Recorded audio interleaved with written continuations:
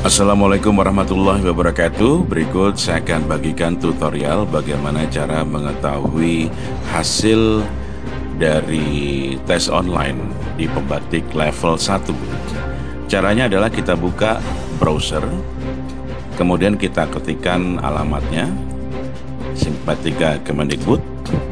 Setelah itu silahkan uh, kita login sesuai dengan alamat email yang sudah kita daftarkan kemudian ketikkan passwordnya di sini lalu diklik login. Setelah itu silahkan anda menuju ke pembatik level 1 di sini. Diklik kemudian silahkan diunduh. Setelah diunduh secara otomatis akan muncul nama-nama yang akan uh, melanjutkan ke tahap kedua atau level kedua. Untuk mencari nama kita kita bisa menggunakan uh, fasilitas find and re, uh, find dengan menekan tombol kontrol dengan huruf F. Silakan ketikkan nama Anda di sini. Enter.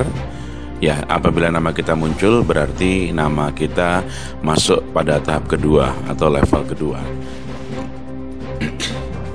Demikian cara untuk melihat hasil dari tes online di level 1 dan di sini sudah ada beberapa orang yang dari Provinsi Lampung dimulai dari nomor 117 1708